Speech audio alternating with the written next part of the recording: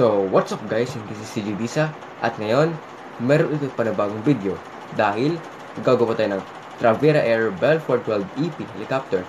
Ito naman po ay sa Indonesia. So bago pa lang yun guys, like, share, subscribe at hit mo ng bell notification para update ka sa panibagong videos.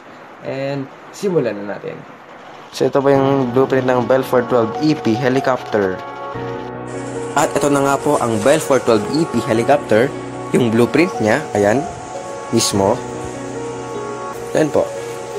So ililipat na po natin siya sa cardboard. Ayan, nalipat na po natin.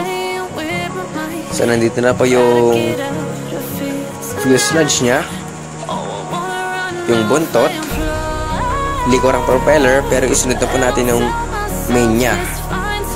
So po yan po yung elevator para sa buntot ng helicopter. So, simulan na po natin ang paggagawa.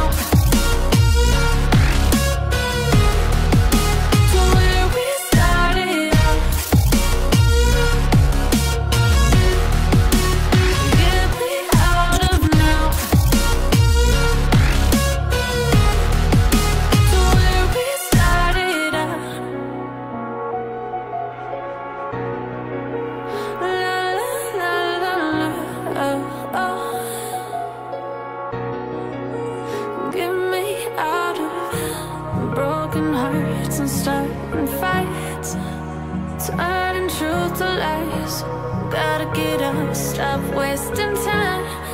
Yeah, I wanna run off and fly